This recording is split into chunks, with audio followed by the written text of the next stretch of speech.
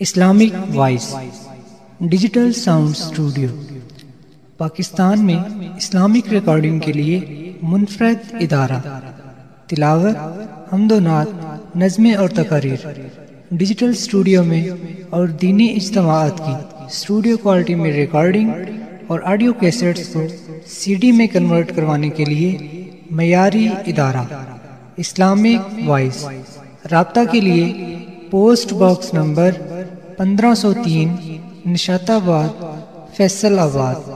Phone number सिफर तीन सौ तैतीस छः पाँच, दो पाँच, तीन सात, सिफर। मेरे भाई और दोस्तों, अल्लाह तबारक व ने दुनिया को दारुल असबाब बनाया है। और उसकी रियायत अपने अम्बिया से भी करवाई। और ख़ुद भी उसकी अल्लाह ताला ने रियायत फरमाई है। अल्लाह ताला हिदायत देने में किसी का भी मोहताज नहीं, न किसी नबी का, न किताब का, न रसूल का। जिसको चाहे दे दे। वलोशीना लातना कुल्ल नफसिन हुदाहा। उसको चाहे हम हिदायत दे दें। और दी भी है। सारे फरिश्ते हिदायत याफ्ता हैं, कोई अल्लाह की नाफरमानी करते ही नहीं। फिर सारे मलाइका हिदायत याफ्ता हैं और सारे अम्बियाम जिनको अल्लाह ताला ने अपनी कुदरत से नबूत अता फरमा दी, कोई नबी बनने के लिए मेहनत तो है नहीं। भले पढ़े, फिर हिफ्स करे, फिर आलिम बने, फिर तकवा इख्तियार करे तो वली बन गया। नबी बनने के लिए कोई मेहनत कोई नहीं, सिर्फ़ अल्लाह का इंतखब है। अल्लाह यश यशतबी इलही मई यशा। अल्लाह जिसको चाहता है नबी बना दे। तो ऐसे ही अल्लाह ताला रिस्क देने में हमारे किसी सबब का मोहताज कोई नहीं। जिसको चाहे जितना दे दे यरजुकमई बगैर हिसाब। जिसको चाहे जितना दे दे। लेकिन अल्लाह ताला ने एक निज़ाम बनाया है। ज़मीन को बिछाया फ़क़दर फ़ीहा अकवाता उसमें गज़ाएँ भरी। फिर अस्कन्ना हो फिल अर्द, उसमें पानी को ठहराया। फिर एक पानियों का ख़जाना समंदर की शक्ल में रखा। उस पर सूरज की शुआएँ पड़ी, उसको बुखार में बना, तब्दील किया। उसको हवा के कंधों पर उठाया और फ़िज़ा में फैलाया। फिर थोड़ा ऊपर ले जाकर उन्हें ठंडा फरमा कर उन्हें बादलों की शक्ल दी। फिर उनमें से कतरा कतरा करके ज़मीन पे बरसाया, अन्ना सबब नल मा असब्बा। फिर ज़मीन को फाड़ा सुम शक़ नल अर्द शक्का। फिर ज़मीन को फाड़ा फस कन्ना हो फिल अर्द। फिर उसे ज़मीन में ठहराया। फिर मीठे पानी की रगें चलाई, हाजा अज़बन फ़ुरात। और कड़वे पानी की ने रगें चलाई, हाजा मिलहन उजाज। फिर उनमें पर्दा लगाया बैना हुमा बरज़न ला यबगियान। ये इधर नहीं आता, ये इधर नहीं आता। अगर अल्लाह ताला ये पर्दा हटा दे तो पूरी ज़मीन में एक कतरा मीठे पानी का बाकी ना बचे। सारा ही कड़वा हो जाए। तो अल्लाह ताला ने बगैर किसी ईंट, पत्थर, रोड़े, सीमेंट, बजरी, पाइप के पानी को इस तरह बना दिया है कि एक दूसरे में वो मिक्स नहीं होता, हल नहीं होता, साथ चल के भी आपस में नहीं मिलता। ये अल्लाह ताला ने इसबाब का एक निज़ाम चलाया है। और फिर दाने को फाड़ा और जड़ को नीचे ले गया कोंपल को ऊपर ले गया। अल्लाह दाने का मोहताज नहीं, अल्लाह तबारक वाली बीज का मोहताज कोई नहीं, मौसम का मोहताज कोई नहीं, सूरज की किरणों का और चाँद की चांदनी का, किसी का भी अल्लाह ताला मोहताज नहीं। लेकिन ये उसने एक निज़ाम चलाया है। जड़ नीचे नीचे चलती है और फिर ज़मीन की रगों से गज़ा उसकी तरफ़ को चलती है। फिर जड़ के अंदर एक बड़ा पेचीदा निज़ाम है जिससे वो ग्लूकोज में तब्दील होती है। फिर वो ऊपर चढ़ती है और तमाम दरख्त की रगों में शाखों में टहनियों में फैलती चली जाती। फिर जाकर अल्लाह ताला उसमें से खजूर बना देता है आम बना देता है खरबूजा बना देता है तरबूज बना देता है हम्म, फ़सलें उगा देता है। इसमें से अल्लाह ताला किसी चीज़ का भी मोहताज नहीं।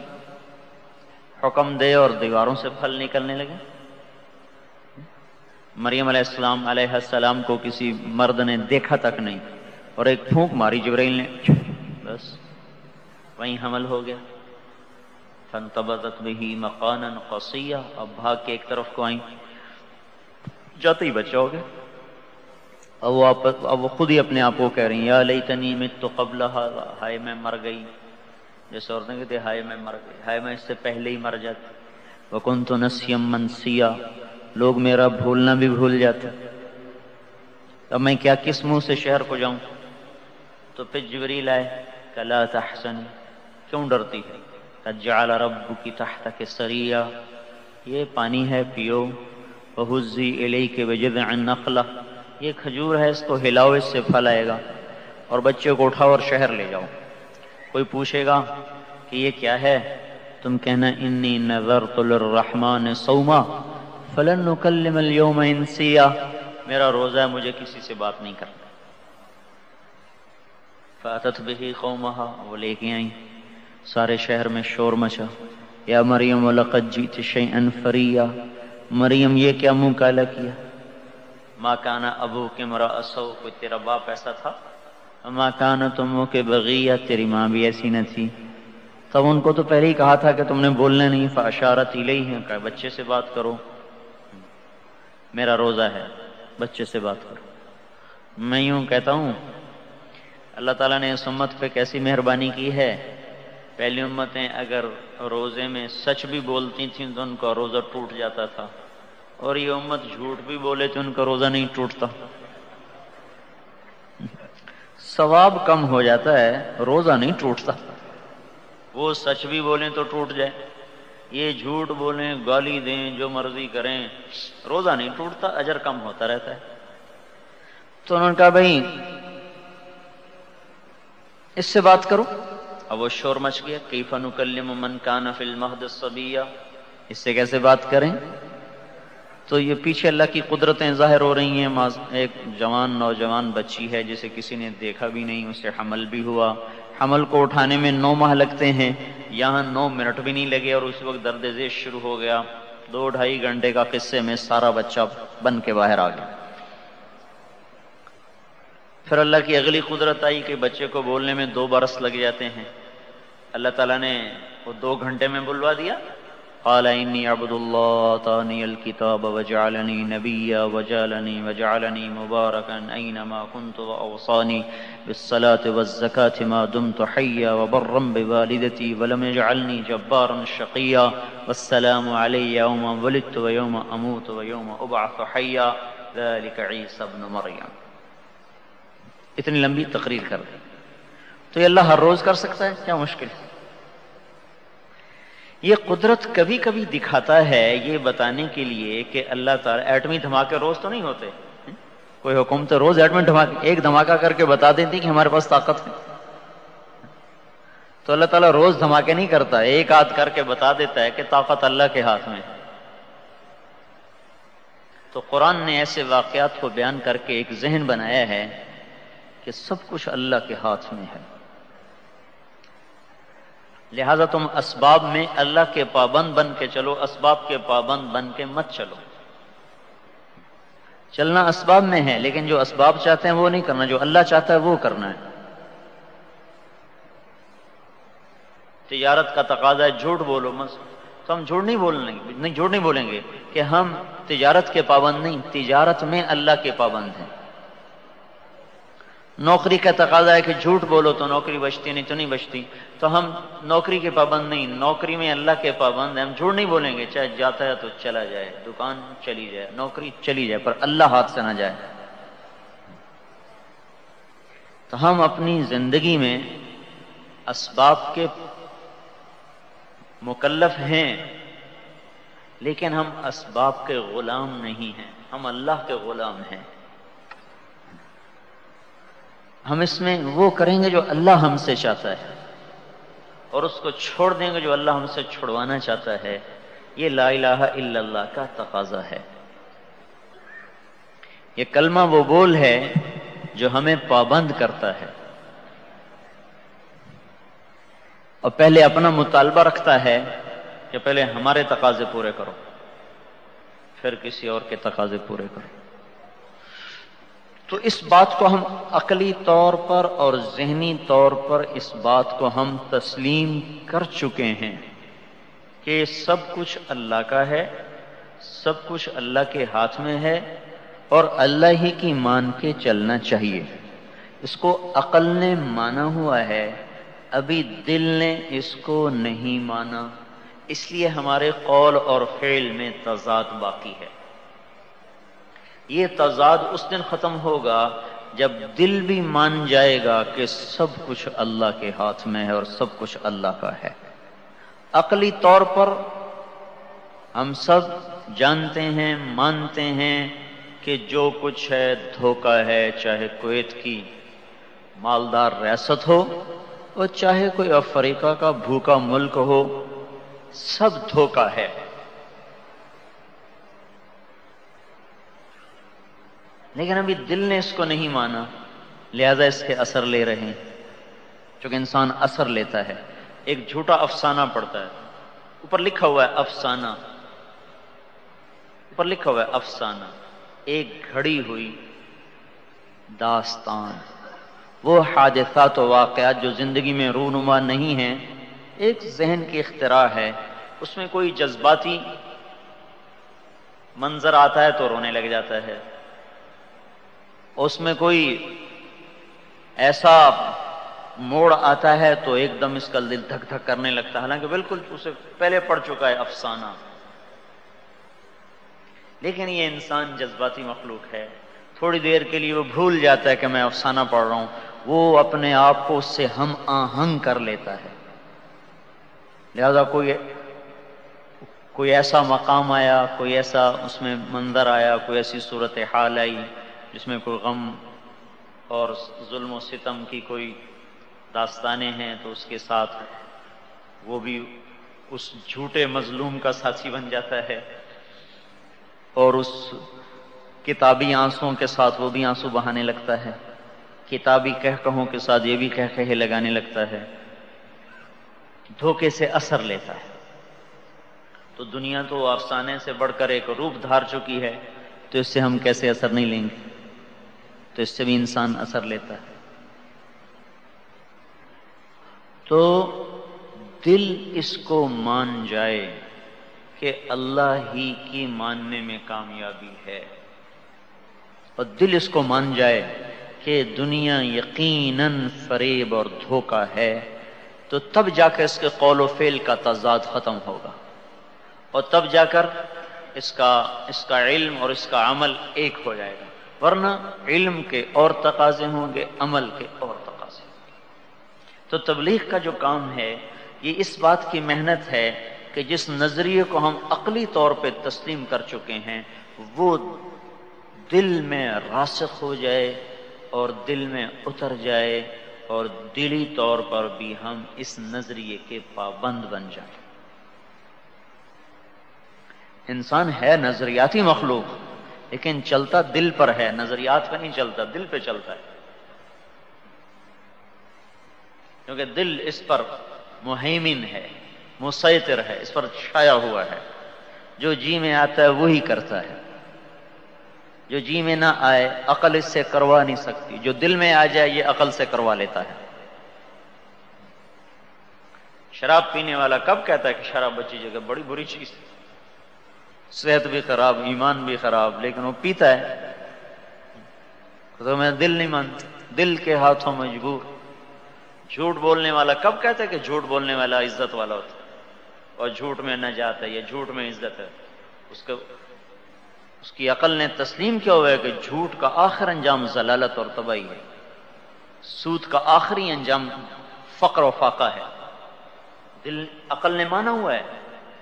दिल अभी नहीं माना तो वो उसको धक्का दे रहा है, चला रहा है, चला रहा है। तो तबलीग, मेरे भाइयों, ये जो मेहनत है, ये इस कलमे को नजरियाती सतह से उठाकर विजदानी सतह तक पहुँचाने की मेहनत है। और जिन नजरियात को हम अकलन पूरी तरह, अल्लाह के फजल करम से, कोई मुसलमान एक अदना शायबा भी शिरक का नहीं रखता। जिसके पास सही इल्म है और कुछ दीन का पता है।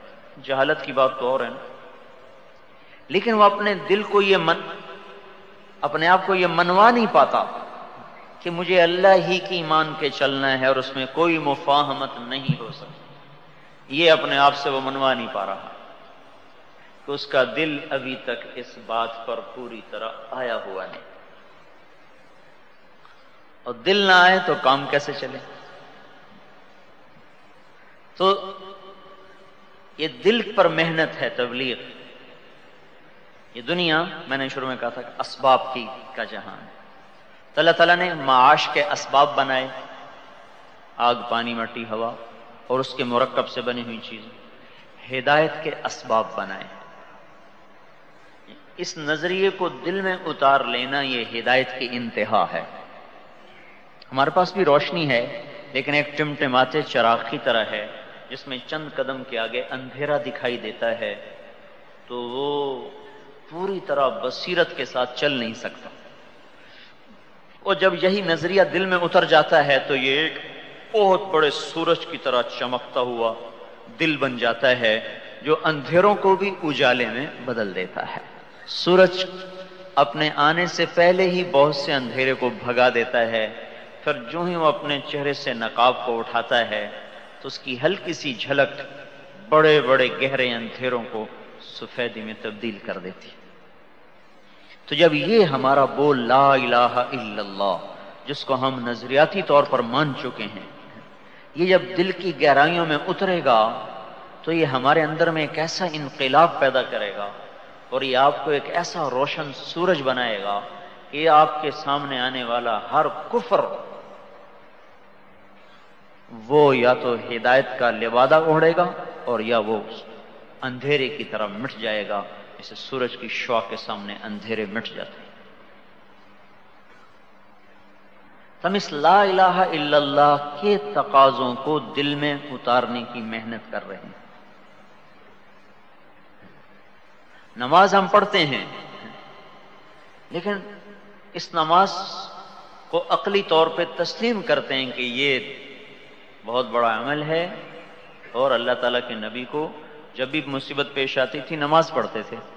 और अल्लाह ने भी कहा, तकलीफ़ आए तो वस्तीन बेसब्र वसला नमाज़ पढ़ के मुझसे मदद चाहो, अपना काम बनाओ। लेकिन हम जरा खुद अपनी गरीबान में मुँह डालें कि जेब में दीनार के आने से इतमान होता है या दो नफल पढ़ने से इतमान होता है?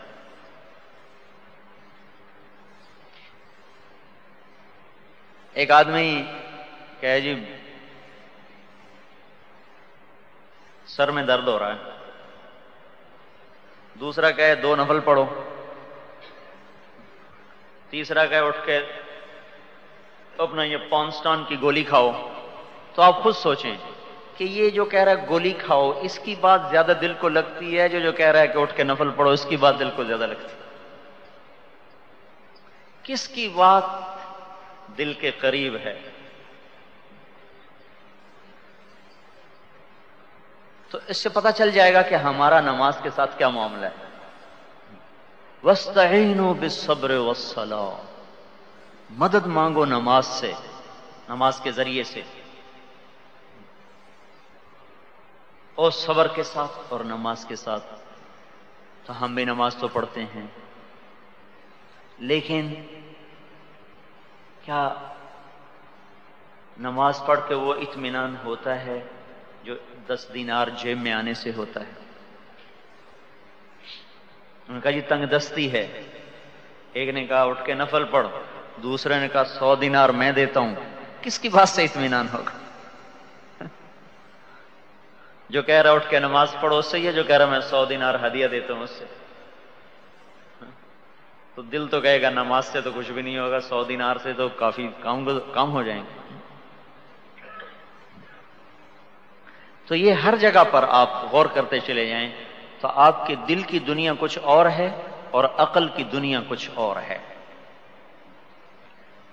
हम दीन को अकली तौर पर नजरि, नजरियाती तौर पर बगैर शक व शुभ के मानते हैं। लेकिन अभी अपने दिल को तस्लीम नहीं करवा सके। और कीमत लगेगी दिल पर वह खुद से लमाफ सुदूर क्या लेके आए हो वही दिखाओ क्या लेके आए हो? कीमत इस पे लगेगी। इन समा वल बसर वल फुआद, कुल्ल उलाई का कान अन मसूला हम पूछेंगे, दिल से क्या है इसमें? पूछेंगे, कानों से क्या सुना था? पूछेंगे, आँखों से क्या देखा था? तो दिल पूछा जाएगा, दिल को कि दिल में क्या है? कोई दीनार का यकीन है या नमाज़ का यकीन है? तो तबलीग इस बात की मेहनत है कि हर मुसलमान वो इस कलमे को अपने अंदर में उतारे, इस कलमे वाले यकीन को अपने अंदर में उतारे। दुनिया का फानी होना अकल ने मान लिया है। दिल नहीं माना तो इसलिए आखरत दाव पे लग रही है और दुनिया नहीं दाव पे लगती। मसला हम आए हैं यहाँ दस दिन के लिए। चाहे हमारी तरफ़ से आपके एयर कंडीशन चलें या बंद हो जाएँ, हमें कोई परवाह नहीं। हम्म? आपकी सड़कें टूटी हों या सीधी हों, हमें कोई परवाह नहीं। पानी मीठा है या ठंडा है या कड़वा है, हमने ये सोचा हुआ है, दस दिन गुजारने हैं, चले जाना है। लिहाजा, अगर इन चीज़ों में से कोई चीज़ मुयसर नहीं हो रही तो इतमान यह है कि कौन सा लंबा अरसा है, चंद दिन चले जाए। तीन जोड़े हैं, एक बैग है, एक बिस्तर है, बस। लेकिन आप इस तरह नहीं रह रहे। आप तो कह रहे हैं कंडीशन खराब होगा ओहो, फिर ठीक करवाओ। पानी नहीं आ रहा भाई जल्दी करो, पानी का इंतज़ाम करो। पेप्सी नहीं आ रही, जब पेप्सी को टिन लाओ भाई, पेप्सी। क्योंकि आप यहाँ रहने की नीयत किए हुए हैं, और हमने नीयत ही कोई नहीं की। तो जहाँ आदमी मुसाफिर होता है वहाँ उसकी तरजीहत कुछ और होती हैं। जहाँ मुकीम होता है, वहाँ तरजीहत कुछ और होती हैं। सफ़र की हालत में जरूरियात मौखर करता है और मंजिल तक पहुँचने को मुकदम करता है। जब सफ़र में हो तो जरूरियात की इतनी परवाह नहीं करता। जगह मिल गई, ठीक है, ना मिली तो हमारे पाकिस्तान में हिंदुस्तान लटक के भी चले जाते। छत पे चढ़ जाते पायदान से लटक जाते हैं। पहुँचना ही तो है।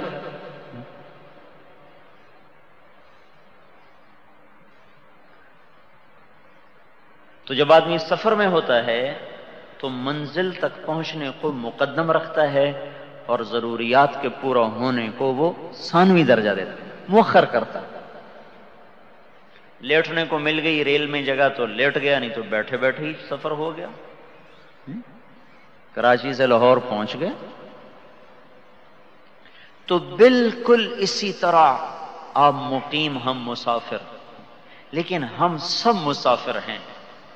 चाहे ये कुवैत के बड़े बड़े शयूख हों, वो चाहे आप जैसा मजदूर तबका हो, या हमारे जैसे मुसाफिर हों, हम सब मुसाफिर हैं। और हर शख्स यहाँ से सफ़र कर रहा है। आलम अरवा से सफ़र किया तो माँ के पेट में आया। माँ के पेट से सफ़र शुरू हुआ तो दुनिया में आया, है? और वो इसकी रदात का जो तफूलियत जिसे कहते हैं, तफूलियत के ज़माने से सफ़र किया तो वो लड़कपन में आया। लड़कपन से सफ़र किया तो जवानी में आया। जवानी में सफ़र किया तो कहूलत में आया।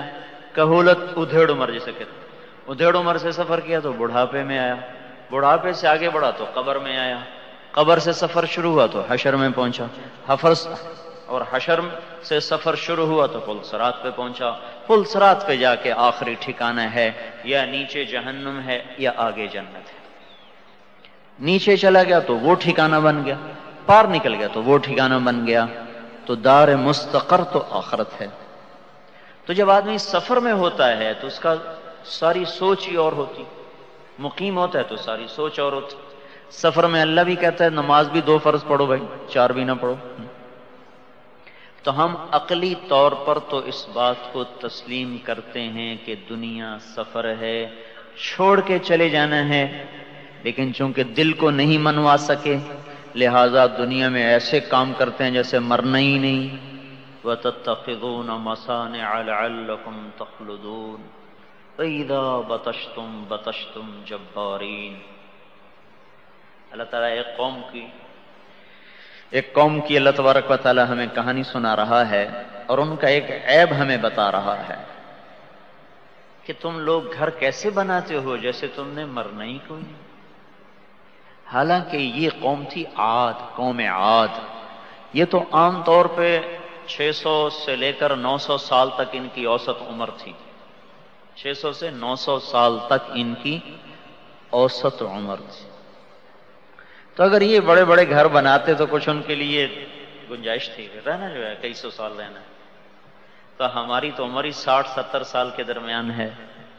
तो अल्लाह ताला उनको डांट रहा है, कैसे घर बनाते हो? जैसे तुमने मरना ही कोई नहीं, यही रहना है। अगर कौम आद आज कुवैत के आके महल देख ले तो क्या कहेंगे, ये तो हमसे बड़े पागल हैं। आके बैठे भी न थे कि निकाले भी गए हैं। और ये फिर इतने बड़े घर बनाते हैं। तो हमें बिल्कुल ही पागल समझेंगे।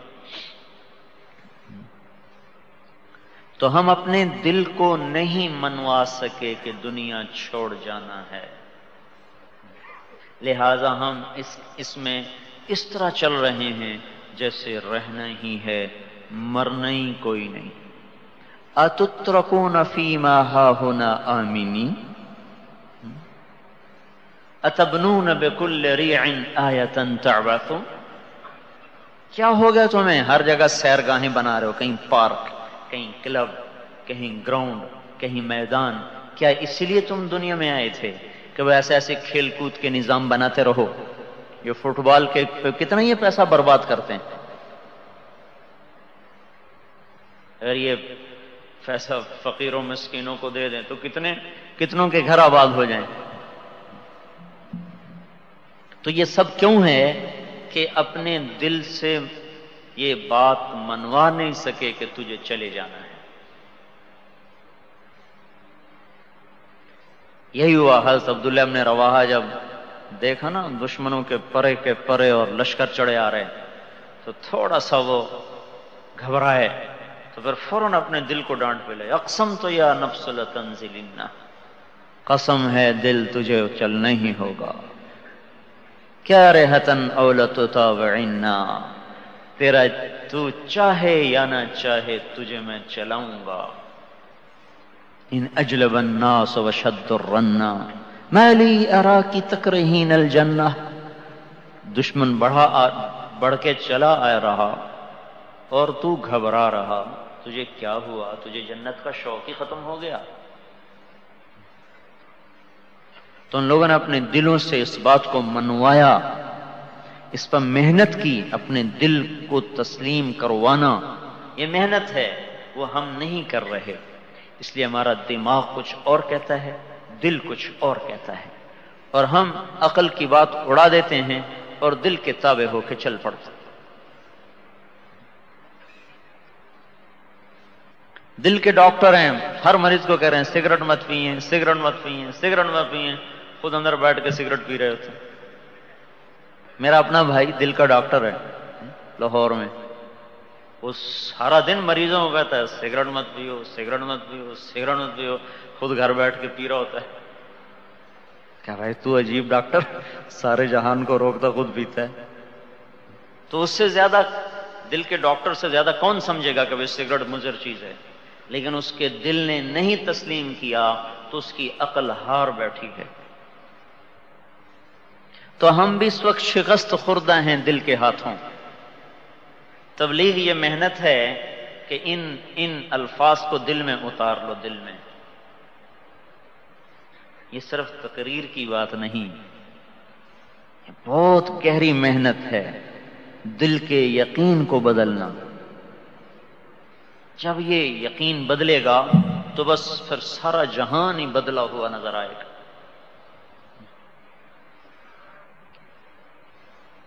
अभी हमारा यकीन नहीं बदला हुआ। तो हम उस तासुर से नहीं चल रहे जिसमें अल्लाह ताला हमें देखना चाहता है, जिसमें एक मुसलमान चलता है।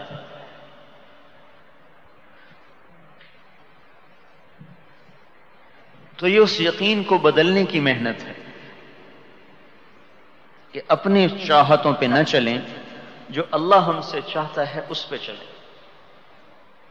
अपनी मर्ज़ी पे न चलें जो अल्लाह की मर्ज़ी है उस पर चले। ये मिट जाने का घर है। इससे जी न लगाएँ, आखरत से जी लगाएँ। हम मुसाफिर हैं, कोई ज़रूरत पूरी होगी, कोई नहीं होगी। दुबई में हम तीन चार घंटे ठहरना था हम। हमारे कोई दिल में नहीं आया कि यहाँ कोई हमारे लिए कमरा होता, कोई बेडरूम होता। कोई नौकर होता, कोई रोटी होती, कोई पानी होता, हमने सामान उठाया जाके मस्जिद में पड़ गए। छोटा सा कमरा नमाज़ का बना हुआ है दुबई एयरपोर्ट पर। वहाँ जाके अपना सामान रखा, वज़ू किया, नफल पढ़े नमाज़ पढ़ी, फिर बैठ गए। कोई ऐसे पड़े पड़े लेट गए। फिर अपना उठे और असर की नमाज़ पढ़ के चल पड़े। और हमें मतलब हमें कमरा नहीं मिला, हमें खाना नहीं मिला, लेकिन हमें कभी हमारे कहीं दिल में भी नहीं आया कि यार के हाँ ये हमारे साथ क्या हो गया?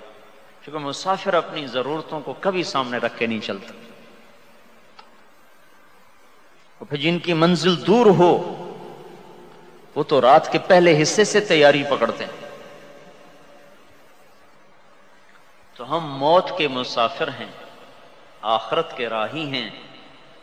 दुनिया हमारी राह है, मंजिल नहीं। राह गुजर है, मंजिल नहीं। आज के इल्म ने और आज की साइंस ने और आज की मगरब की तहजीब ने हमारे सामने दुनिया को मंजिल बना के पेश किया है। और अल्लाह के अंबिया ने और अल्लाह के महबूब रसूलों ने और हमारे महबूब मुस्तफ़ा सल्लल्लाहु अलैहि वसल्लम ने अपने इल्म से हमें दुनिया को गुजरगाह बना के पेश किया है। जैसे मैंने पहले कहा एक मुकीम है, एक मुसाफिर है, दोनों की सोच एक नहीं हो सकती। अंबिया का इल्म कहता है कोत राह गुजर है। दुनिया का इल्म कहता है कोत रहने की जगह है। जो रहने की समझेगा, उसकी सोच और होगी। जो गुजरगाह समझेगा, उसकी सोच और होगी। अल्लाह और उसके रसूल मुत्तफिक हैं कि गुजर गुजरगाह है गुजरगाह है। ठहरने की जगह नहीं। शैतान और उसके सारे चेले मुत्तफिक हैं। ठहरने की जगह है, क्याम की जगह है, ऐश और नशात की जगह है। तो हम अपने दिल से ये बात मनवाना चाहते हैं कि नहीं नहीं नहीं, तू मुसाफिर है। तुझे जाना है, तुझे छोड़ के जाना है। तू मुसाफिर है। ये जहान छोड़ना है। ये दिल को ये बात कहलवानी है। दिल बोले दिल। जबान, अकल, ये लाख शोर मचाएँ। जब तक दिल नहीं बोलेगा, जिसम इतात नहीं करेगा। दिल बोलेगा तो तब जाके जिसम इतात करेगा। तो भाइयों, अगर आप हम ये नियत कर लें तो सारे कुवैत को अल्लाह ताला हिदायत दे सकते।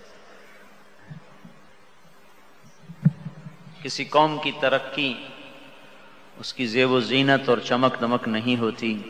किसी कौम की तरक्की, उसकी नस्ल के अखलाक और किरदार होते हैं। आज पूरी दुनिया गैर तरक्की याफ्ता है। और आज पूरी दुनिया बद तहजीब और गंवारपन में चल रही है कि ये सड़कों का सीधा होना तो काम समझते हैं। अपने आप को सीधा करना काम ही नहीं समझते। चीज़ों का साफ़ सुथरा होना तो काम समझते हैं। अपने अंदर को साफ़ करना ये काम ही नहीं समझते। दुनियाई आकाओं को राज़ी करना अपना काम समझते हैं। ज़मीन आसमान के बादशाह को राज़ी करना अपना काम ही नहीं समझते।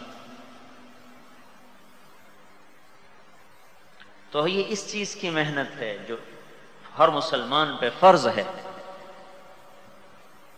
फिर इन असबाब से आदमी कब तक लेगा? मौत तक। लेकिन हजूर सल्लल्लाहु अलैहि वसल्लम वाले आमाल से और दीन से ये क्यामत तक ले सकते एक दफ़ा नमाज़ पढ़ी और हमेशा के लिए उसका अजर मिलता रहेगा। सौ दिनार खर्च हो गए, दोबारा तो उससे वो चीज़ नहीं आ सकती, नए सौ दिनार लाओ। लेकिन आज जो ईशा की नमाज़ पढ़ी है इस पे क्यामत तक मिलेगा और क्यामत के बाद जन्नत में हमेशा हमेशा के लिए मिलेगा। तो हमारा आमाल पे दिल आ जाए, दिल आ जाए। हमें असबाब से वो तसल्ली ना हो जो आमाल से तसल्ली हो। ऐसा दिल आ जाए। जैसे अबू हुरारा लेटे हुए थे उल्टे। तो इन एक जुमला आपसे साबित है कि आपने फारसी में बोला, है? एक दफ़ा हजूर वसल्लम ने फारसी में गुफ्तगु फरमाई, अबू हुरारा से का दर्द, दर शिकम। बुखारी शरीफ में है, दर्द, दर शिकम। अबू हुरारा, पेट में दर्द है? तो फारसी में आपने एक दफ़ा ये जुमला बोला है। ईरान से लोग आते रहते, यमन भी ईरान किताबें था, फिर इराक की हदूद ईरान किताबें थी तो वहाँ से लोग आते रहते थे। तो कुछ ना कुछ अल्फाज, जैसे आप लोग, आप जब, जैसे आप लोग अरबी थोड़ी टूटी फूटी बोलने तो लग जाए।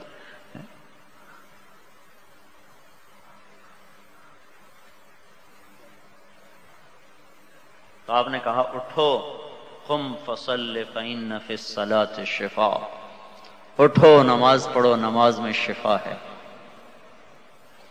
अब मेरे पेट में दर्द हो तो एक आदमी पूछे मल साहब, पेट में दर्द में कहूँ वो कहे, उठे, नमाज़ पढ़े।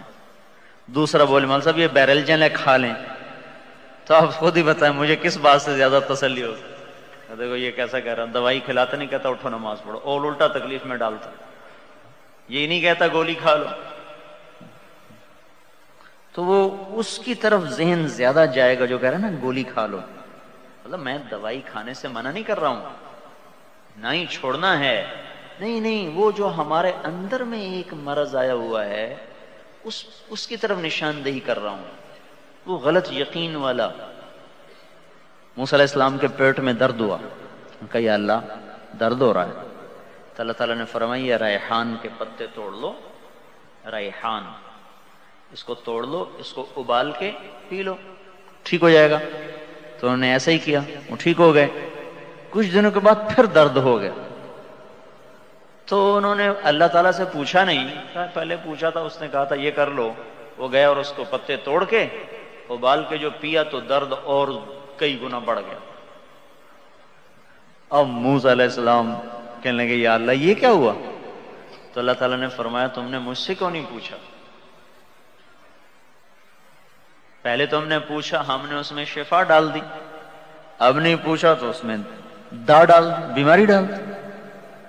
मुझसे पूछते, शिफा तो अमर है, कभी रेहान में, कभी उसके गैर में, कभी दवाई में, कभी नमाज़ में, कभी दुआ में, कभी गजा में?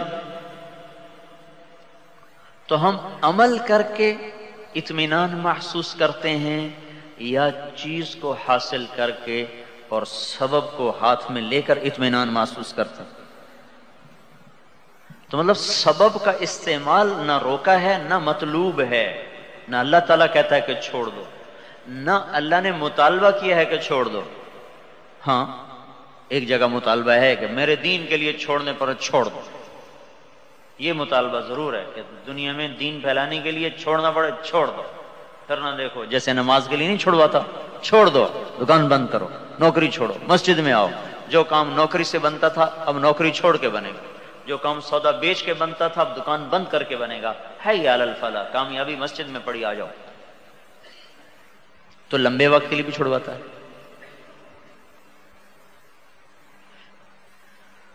तो वो अंदर का यकीन जिस पर फैसला होगा, वो हमारा गलत है। उसको अल्लाह छुड़वाना चाहता है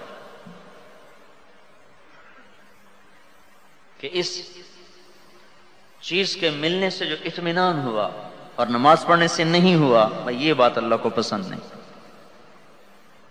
मतलब दवाई का, खुद हुजूर ने दवाई खिलवाई, आपको खिलाई गई, आपने खुद सहाबा का इलाज करवाया। लेकिन आया क्या? यकीन भी उसी का हो। उसका तो ये है, यकीन किसका है? तो भाइयों कीमत जो लगेगी वो यकीन पे लगेगी। इसलिए एक हदीस में आता है, अबू बकर रज़ी अल्लाह तु का दर्जा तो मैं इसके आमाल की वजह से नहीं बल्लेमा वकारा फ़ी ही उस ईमान की वजह से है जो इसके दिल में गड़ गया है। मकसद ये है कि ये मुमकिन है अबू बकर से ज़्यादा कोई तहजद पढ़ने वाला हो, इससे ज़्यादा कोई माल खर्च करने वाला हो। हज़रत उस्मान रज़ी तला हो हज़रत बकर से ज़्यादा माल खर्च करते थे। और एक रकात में कुरान पढ़ते थे, हज़रत बकर सिद्दीक से तो ज़िंदगी में एक दफ़ा भी साबित नहीं कि उन्होंने एक रकात में कुरान पढ़ा। उस्मान रज़ी तला एक रकात में सारा कुरान पढ़ जाते थे। और अब्दुल्ला ने अमर सारी ज़िंदगी के रोज़े रखे उन्होंने। फिर हुजूर के इसरार पर एक दिन रखा, एक दिन छोड़ा। अबू बकर रज़ी से तो साबित नहीं कि उन्होंने ऐसे रोज़े रखे हों। तो आमाल में मुमकिन है और लोगों का, और लोग अबू बकर से ज़्यादा हों। इसलिए अबू बकर का दर्जा तो इसके इन आमाल की वजह से नहीं है। लेमा वक़ारा फ़ी कल्बे जो उसके दिल में उतर गया है, गड़ गया है। ये वकर वकर का लफ्ज यहाँ, है? ये बड़ा अजीब इस्तेमाल हुआ है। इसलिए कि वकर कहते हैं ऊँट पे बोझ लादने को। वकर का जो लफ्ज है औकर तो औकरतुल जमल मैंने ऊँट पे बोझ लादा। ऊँट पे इतना बोझ लादें कि वो पूरी तरह, है ना, चारों तरफ़ उसको, दोनों तरफ़ उसको नहीं कर आप तो यहाँ देखते होंगे ऊँट, पता नहीं आप यहाँ कोयत में होते हैं कि नहीं होते हैं? सहरा में तो चलते चलती कैसा बोझ लाते हैं? कि ऊँट को बोझल कर देना, बोझल कर देना। वक्र। तो अल्लाह के रसूल ने अबू बकर रज़ी के दिल को एक तशबी दी है, एक सवारी से, एक ऊँट से। ऊँट समझ लें या कोई सवारी समझ लें। और ईमान को तशबी दी है वज़न से और बोझ से कि जैसे सवारी वज़न उठा के, हाँ? पर होती ना, हाँ पर होती। ऐसे अबू बकर का ईमान इसके दिल पे इतने, इतना वज़न रखता है कि अबू बकर का दिल भी उसको उठाने में बोझ महसूस कर रहा है, बोझ। ये है लिमा वाकरा। तो हम भी मेरे भाइयों, ये चाहते हैं कि हमारे दिल पर ईमान का ऐसा बोझ पड़े कि हमारा दिल भी हाँपने लगे उसको उठा कर तो फिर ये अल्लाह के अर्श से ज़्यादा रोशन हो जाएगा। और अल्लाह की तजलियात का मजहर हो जाएगा। और अर्श से ज़्यादा इसको वसात मिलेगी। कि अल्लाह ताला तो अर्श पे नहीं आता, लेकिन ये दिल इतना बड़ा हो जाता है कि इसमें अल्लाह ताला की मोहब्बत आ जाती है।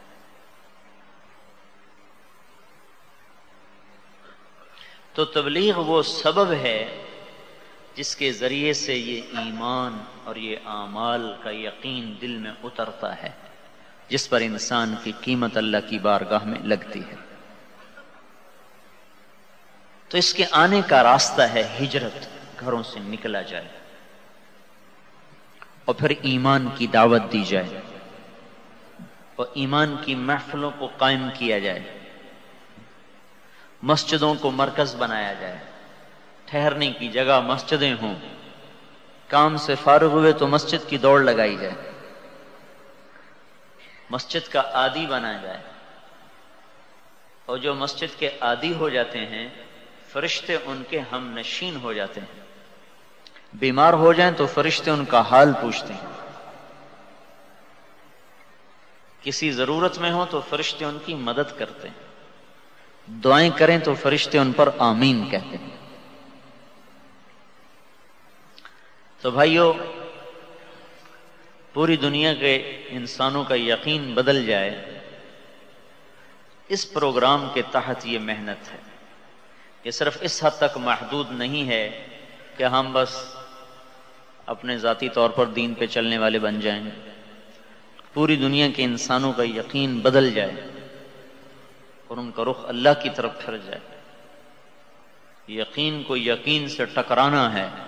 पूरी दुनिया का यकीन बना हुआ है कि माल से काम बनते हैं, चीज़ों से काम बनते हैं। हम इस यकीन की दावत दे रहे हैं कि अल्लाह से काम बनते हैं। और आमाल उसका ज़रिया है, अल्लाह के रसूल की ज़िंदगी उसका ज़रिया है। इस यकीन का जब एक मजमुआ बन जाएगा तो फिर ये दो यकीन आपस में टकराएँगे। एक अल्लाह वाला यकीन, एक एटम वाला यकीन। फिर जिनके पास अल्लाह वाला यकीन होगा, वही गालिब आए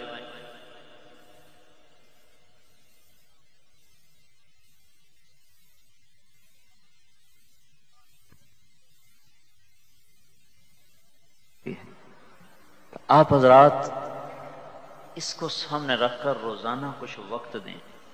लंबी हिजरत भी अल्लाह के रास्ते में निकलना चार महीने, चालीस दिन, साल, छह महीने, सात महीने।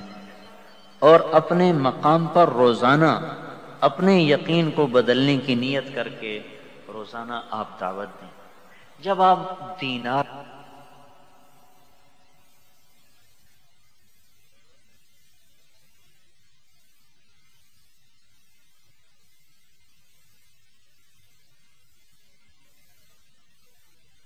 बिलाद अरब में। हर जगह पता नहीं यहाँ क्या हाल है, मैं तो पहली दफ़ा आया हूँ। लेकिन जहाँ कहीं ये बातें सुनने को आई। तो अगर आप अपना यकीन इनके दीनार से हटा लें और अल्लाह के खजानों पे ले आए तो ये आपके पीछे पीछे फिरेंगे नौकरों की तरफ़। जिस चीज़ का यकीन आप अपने दिल से निकाल देंगे, वो चीज़ ताबे हो जाएगी। और जिसका यकीन अपने अंदर में उतारेंगे, वो मुसलत हो जाएगी। अभी दीनार का यकीन हमारे अंदर में है तो ये हम पे मुसलत और अगर हम दीनार का यकीन निकाल दें तो आप इन पे मुसलत है। अल्लाह के सिवा को दिल से निकाल दें। सारा जहान कुछ भी नहीं, अल्लाह ही है जो कुछ है। माशा अकान कमा शाह फिल वक्तिल्लदी शाह अलल वजहिल्लदी शाह मिन गैर जियादा, वला नुकसान, वला तकद्दुम, वला तअखुर वमा लम यशा ये दिल में उतार लें। जो अल्लाह चाहता है, हो जाता है, जैसे चाहता है, जब चाहता है, जिस तरह चाहता है, जिस वक्त में चाहता है, न कमी, न ज्यादती, न तकदीम न ताखीर वमालम यशा, जो ना चाहे कभी नहीं हो सकता।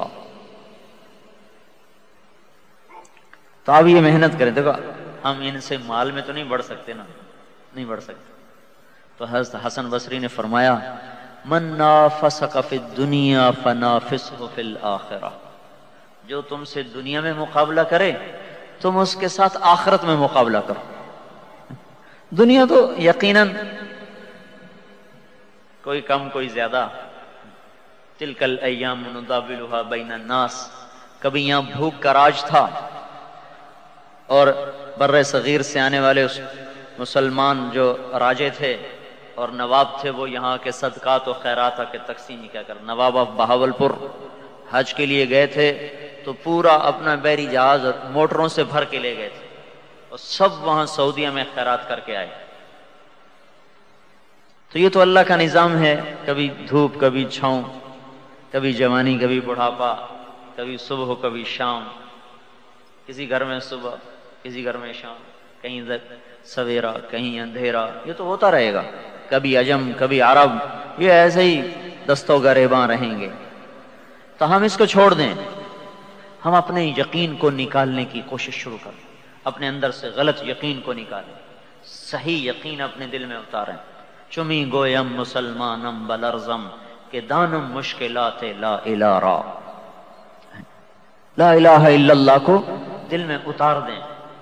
ला इलाहा इल्लल्लाह की जरब लगाएँ इनके दिमागों पर, अपने दिमाग पर, इनके कुलूब पर, अपने कुलूब पर। जब ये ला इलाहा इल्लल्लाह दिल में उतरेगा तो सारी कायनात आपको मच्छर की तरह हकीर नज़र आएगी। ये सारा कुवैत और कुवैत की सारी तरक्कियाँ आपको मच्छर का पर नज़र आएँगे। ला तो सावी जना तिल कबूत कसरा बिन बकीयतन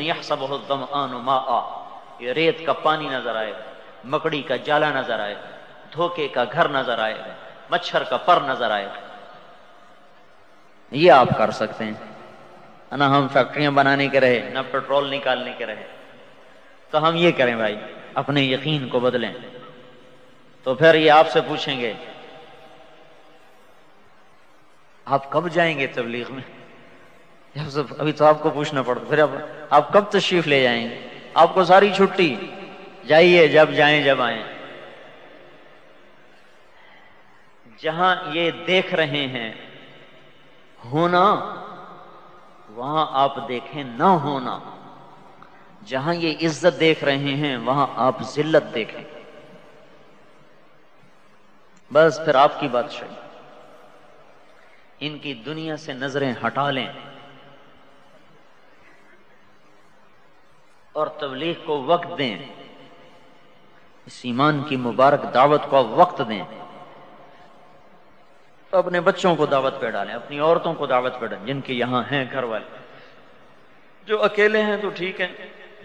मज़े हैं उनके तो हमारे उस्ताद साहब, बुखार शरीफ जिनसे पढ़े, उनकी बीवी का इंतकाल हुआ। तो अगले दिन सबक में आके कहने लगे मुजर्रत सबसे आला है, न जोरू है, न साला है। तो जो अकेले रह रहे हैं तो उनके तो ठीक है भाई, मज़े वो सारा दिन तबलीग करें, अपनी नौकरी का वक्त हटा के, बचा के बाकी सारा दिन तबलीग में फिरें। इनके साथ बच्चे भी हैं तो भाई उनको भी कुछ वक्त दें।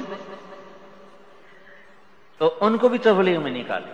उनको बच्चों को चलाएँ, अपनी मस्तूरात का वक्त लगवाएँ, अपने घरों में तालीम करें। उनको कोई यकीन बदलो। गुलामी है बहुत बड़ी, गलत यकीन। बेयकीनी गुलामी से बदतर है।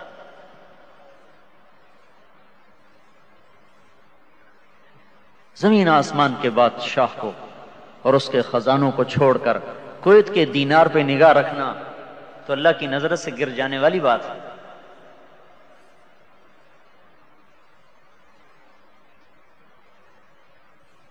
तो इनके यकीन को बदलने की आप नियत करें और अपने यकीन को बदलने की नियत करके रोज़ाना अपनी अपनी मस्जिदों में वक्त दें, जो मरकज में आते हैं वो मरकज को वक्त दें।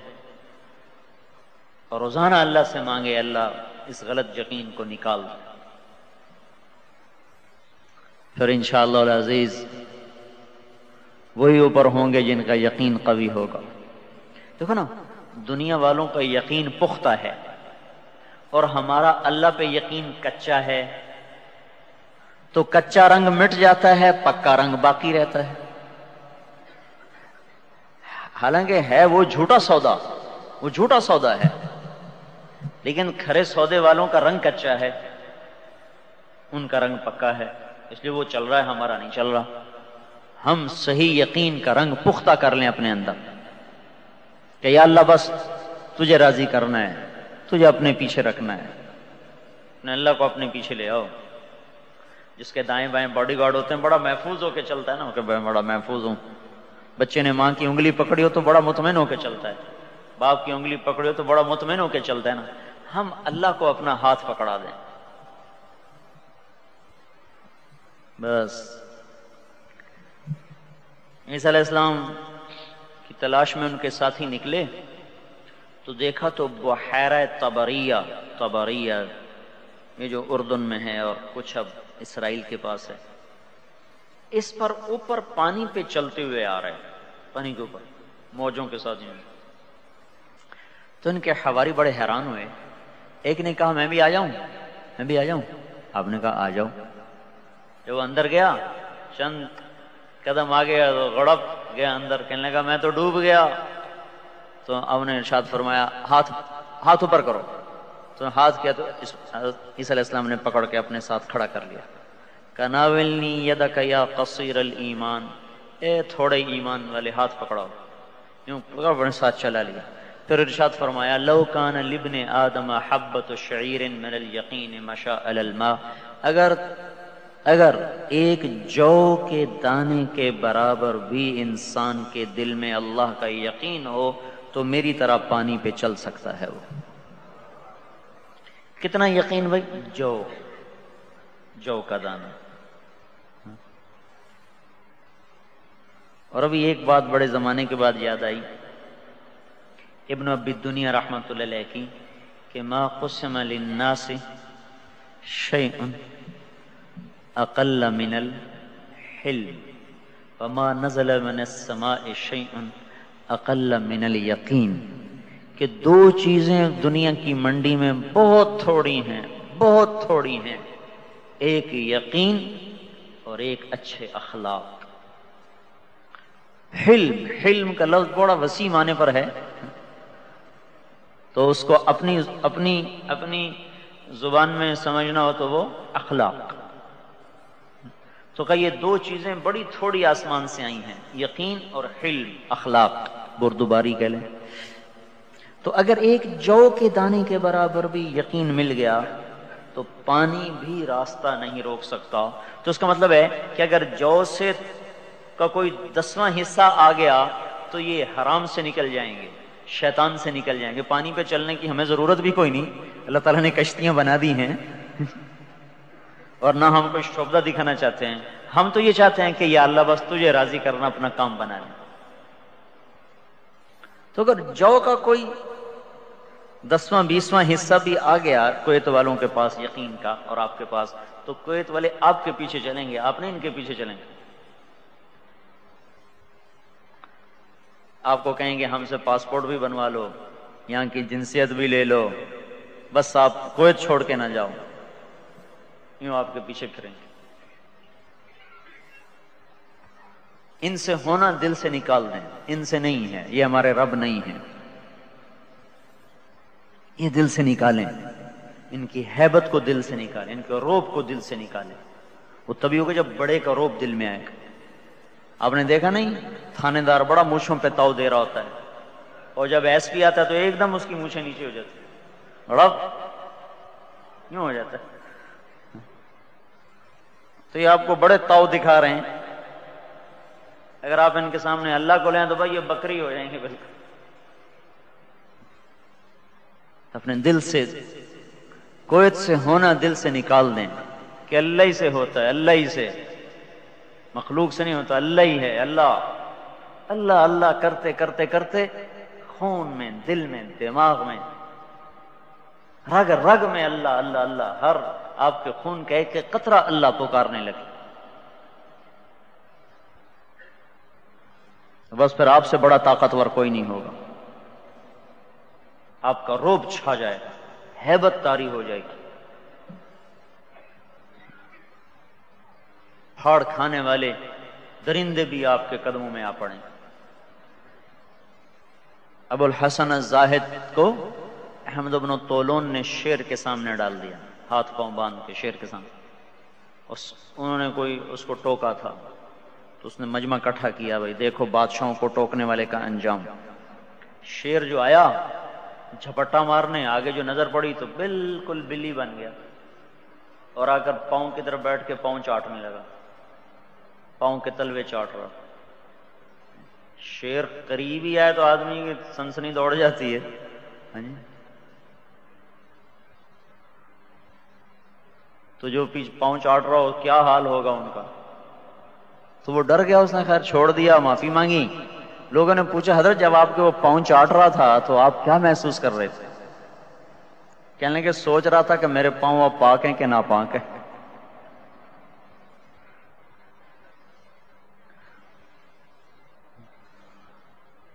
क्योंकि ये मसला है कि बाज के नज़दीक जो खूनखार जानवर हैं शेर है, भेड़िया है, चीता है, इनका झूठा नापाक है, बाजों के नज़दीक पाक है।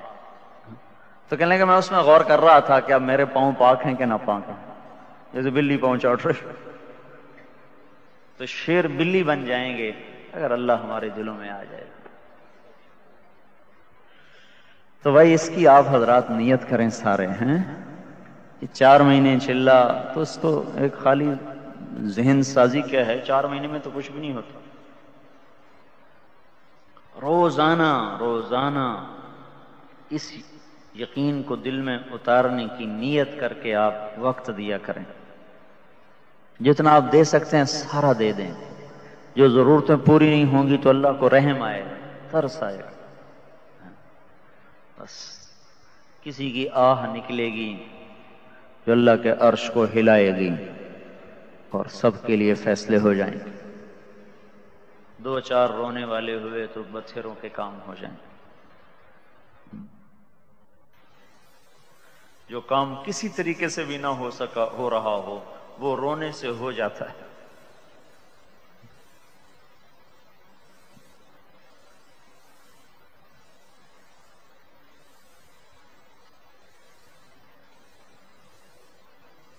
भाई इसको कोयत, सारे कोयत देखो बिलाद अरब पर बातिल की बड़ी निगाह है। सबसे आली खानदान है दुनिया में। अरब सबसे अफजल कबीला है। खैरुल कबाइल। दुनिया का सबसे बेहतरीन कबीला अरब है। फिर अरब का सबसे बेहतरीन कबीला मोज़र है। फिर मुज़र का सबसे बेहतरीन कबीला कुरैश है। फिर कुरैश का सबसे बेहतरीन कबीला हाशिम है। फिर हाशिम का सबसे बेहतरीन मोहम्मद मुस्तफ़ा सल्लल्लाहु अलैहि वसल्लम। तो ये दुनिया का बेहतरीन कबीला है, अरब। ये ज़मीन दुनिया की बेहतरीन ज़मीन है। लिहाजा सारे बातिल की निगाह है कि इनके ईमान, अखलाक, किरदार को बिल्कुल बुलडोजर फेर दिया जाए।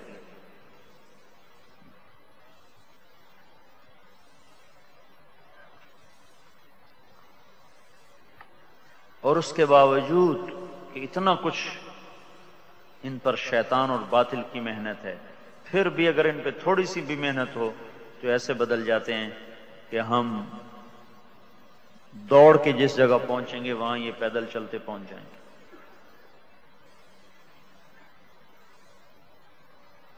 फिर खास तौर पर यह सरजमीन जहाँ सहाबा के कदम पड़े यह इलाका जिसमें आप रह रहे हैं ये कदीम में इसको बहरैन, हुजूर के ज़माने का ये बहरैन है। ये बहरैन जो जजीरा बना हुआ है। बहरैन इस इलाके का नाम है। ये इलाका बहरैन है जिसमें आप फिर ये कोत और अहसा का जो इलाका है, कुछ सऊदिया में है, कुछ ये ये सारा हदीस पाक का बहरैन है ये। जहाँ अला इबन हदरमी ने जहाद किया, ये वो जगह है। बहरैन। तो ये वो जगह है जहाँ सहाबा के कदम उनके घोड़ों के कदम पड़े हैं। उनके नगमे आज इस फिजा में आज तक महफूज हैं। उनकी अजान, नमाजें, तकबीरें, जहाद तस्वीर तिलावत, उनके आहो बुका, उनका रोना धोना, इन फिजाओं में मौजूद है। वो इस फिजा को गंदा करना चाहते हैं कि यहाँ जिना के असरात हों, गाने बजाना हो, मौसीकी हो, शराब हो, जुआ हो, वो उस फिजा को बदलना चाहते हैं।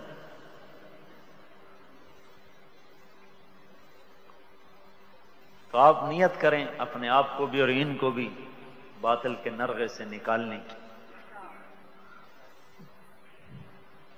तो अल्लाह ताला आपकी मदद करेगा। आपको मोहब्बत भरी नज़रों से देखेगा। औरों के लिए जीना ही असल ज़िंदगी है। अपने लिए जिए तो क्या खाक जिए? जो औरों के लिए जीते हैं वो मर के भी ज़िंदा रहते हैं। जो अपने आप के लिए जीते हैं, वो ज़िंदा रहकर भी मरे हुए होते और मर के तो वैसे ही मर जाते हैं, मिट जाते हैं, उनके निशान मिटा दिए जाते हैं, उनकी यादें भुला दी जाती हैं, और तो और सगी औलादें उनको तीसरे दिन भूली पड़ी होती जिनके लिए अपना सब कुछ कुर्बान किया वही भुला देते हैं तो और क्या याद रखें?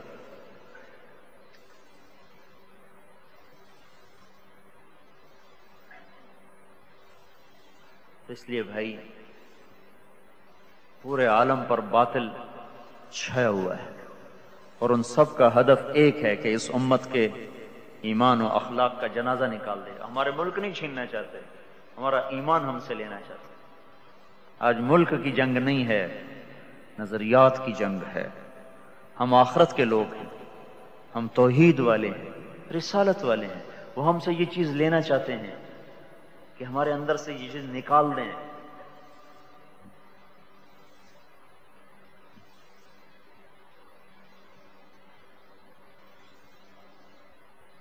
तो हम उनकी भी खैर खाही की नीयत करें।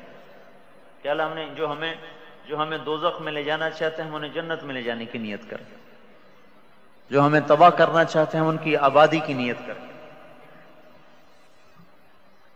सर जिसके मुकद्दर में होगा, वो बन जाएगा। जिसके मुकद्दर में नहीं होगा, अल्लाह का गैबी कोड़ा उसके लिए हरकत में आएगा। आदो समूद की बिजलियाँ कोई मान तो नहीं पड़ी।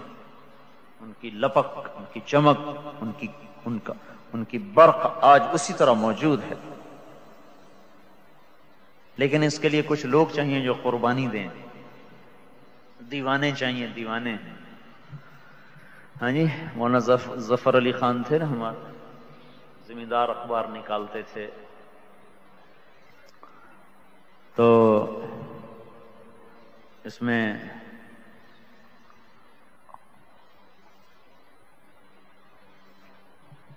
लाहौर में होते थे। तो उनका एक जुमला वो फरमाया करते थे कि इनकलाब दीवाने लाते हैं, फरजाने नहीं लाते। हम्म? फरजाना फारसी में अक्लमंद को कहते हैं। फरजाना अक्लमंद। दीवाना, पागल। का इनकलाब दीवाने लाते हैं, फरजाने नहीं लाते। जो कर गुजरे, सोच में ना पड़े, कर गुजरे। तो ऐसे दीवानों की ज़रूरत है, जो कर गुजरे। देखी जाएगी हमारे एक लतीफा मशहूर है, एक वकील का और एक देहाती का झगड़ा हो गया तो देहाती ने वकील को लठ मारा। तो वकील ने पिस्तौल निकाला। जब उठाया तो उसे याद आया कि 302 का मुकदमा हो जाएगा और उसकी सजा फांसी हो सकती है।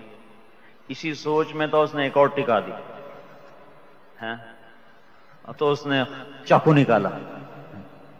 चाकू जो निकाला और मारने का तो फिर उसको ख्याल है कि 307 का मुकदमा हो जाएगा, जिसकी सजा उम्र कैद हो सकती है। उसने एक और टिका दी। और उसे लंबा डाल दिया। तू सोचता रहे, उसका काम हो गया। तो हम वो वकील की तरह सोच में न पड़े, देहाती की तरह लठ मारें, बातिल की खोपड़ी में।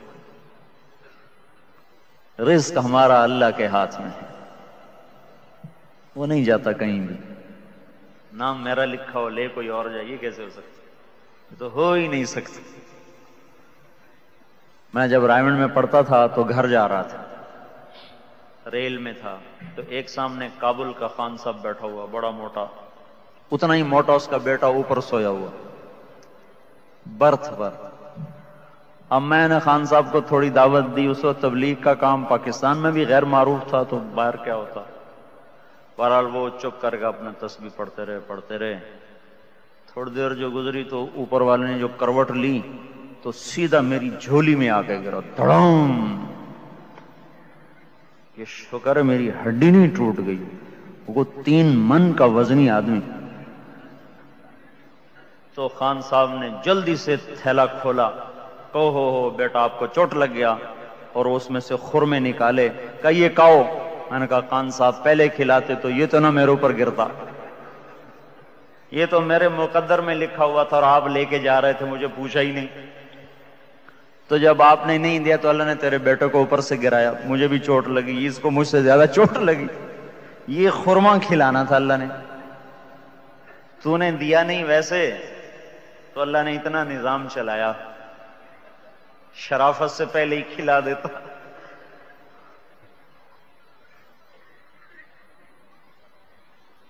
तो जो मुकद्दर का है ना, वो बखील की झोली से भी निकल के आएगा, चाहे उसके बेटे को गिरना पड़े। मुकद्दर कैसे जा सकता है? जो मेरा नहीं है तो मैं चाहे कुवैत जाऊँ, चाहे हवाई जाऊँ, चाहे फीजी जाऊँ, वो मेरा नहीं है, नहीं आएगा मेरे हाथ में। इसलिए इससे बेगम हो जाएँ। अल्लाह देगा देगा, ज़रूर देगा। जो है लिखा है वो तो मिलेगा। भाई इस मुबारक काम को करो। ये करने से मुताल्लुक रखता है, करने से। रोज नौकरी हो रही है ना, कुछ उसका नफा आ रहा है। रोज तबलीग का काम करें, इसके नफे ज़ाहिर होंगे। दुआओं में कबूलियत आएगी, नमाजों में जान पड़ेगी, गुनाहों से नफरत होगी, अल्लाह की मोहब्बत होगी। दीन का गम होगा। यही वो सिफात है जिस पे आपका क्यामत के दिन वज़न होगा। तो लो भाई। तो भाई बताओ, क्या करना है फिर इसके लिए? Islamic voice, digital sound studio. Pakistan में इस्लामिक रिकॉर्डिंग के लिए मुनफरद इदारा। तिलावत हमदोनात नज़में और तकारीर।